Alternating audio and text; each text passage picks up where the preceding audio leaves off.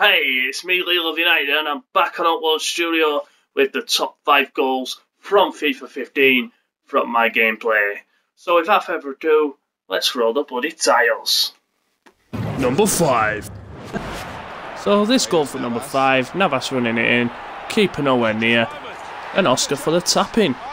Nice goal. Nice celebration to top it off. That's in at 5. A goal from Oscar.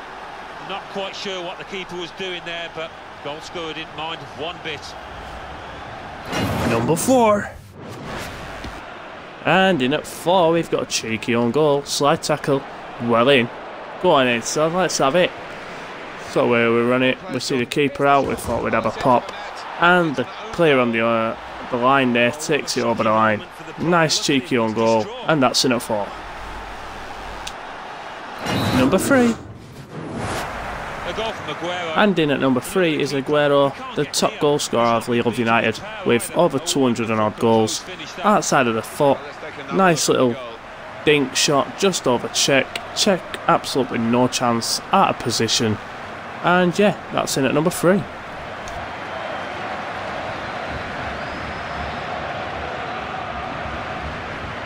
Number 2.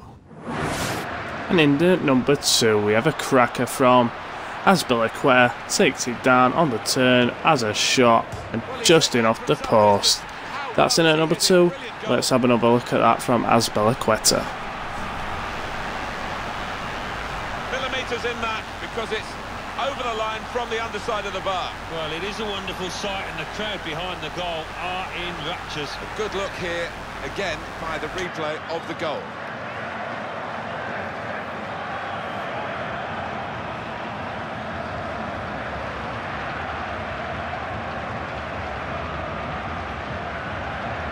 Number one. And in at number one, we have Ivanovic and just a long range pop from a corner again. Similar to the one that Azpilicueta scored.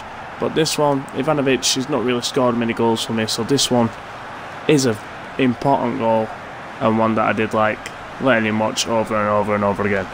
So yeah, that's in at number one. Thanks for watching. Well, he's beaten the keeper there with power, with accuracy.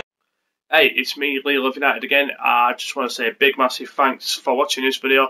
Please like it. I will appreciate the support um, of the video.